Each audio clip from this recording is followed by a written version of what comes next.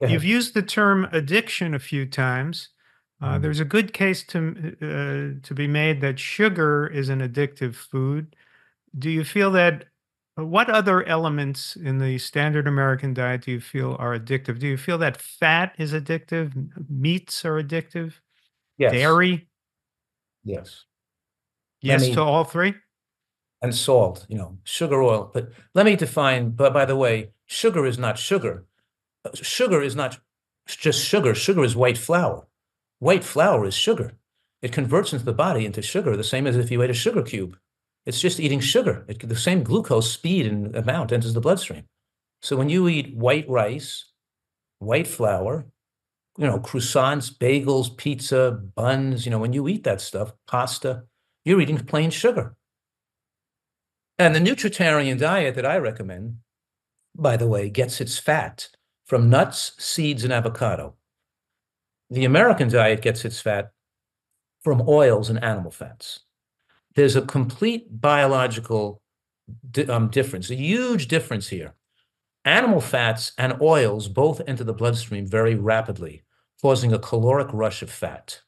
So when you take in bacon or French fries or salad dressing with olive oil on it, you're getting about 40 to 50 calories a minute of fat entering the bloodstream. After that meal, you could have 300 to 400 calories of oil in your blood, of fat in your blood. That high level of caloric rush acts on the brain in the dopamine to make you dopamine insensitive and habituated to a high cal- high calorie rush into the bloodstream. So you could eat sugar, or you can eat a- apple juice, or you could eat honey, and you could eat bread and pasta and pizza and get a caloric rush of carbohydrate, of glucose in the bloodstream.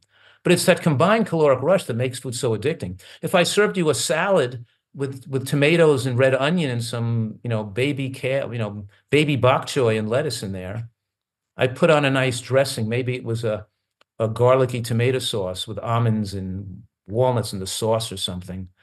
And then you had a bowl of vegetable bean soup with that, and maybe a couple of nectarines for dessert or something.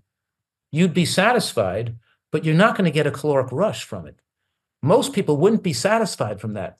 It doesn't hit their brain with enough calories, and they're habituated to this caloric rush. They got to have a chocolate bar. They got to have an ice cream cone. They got to have some French fries. They got to put oil on that meal. They got to have something greasier, fried, with more calories in the bloodstream, or they feel they're empty. They don't feel satisfied.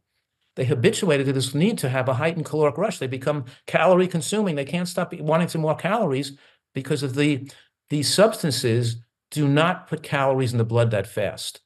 So when you eat a bean, or let's say you eat a nut, like a walnut or an almond, you get the fat in your bloodstream, or one or two calories a minute comes in. It takes three hours to digest that fat, not three minutes with oil.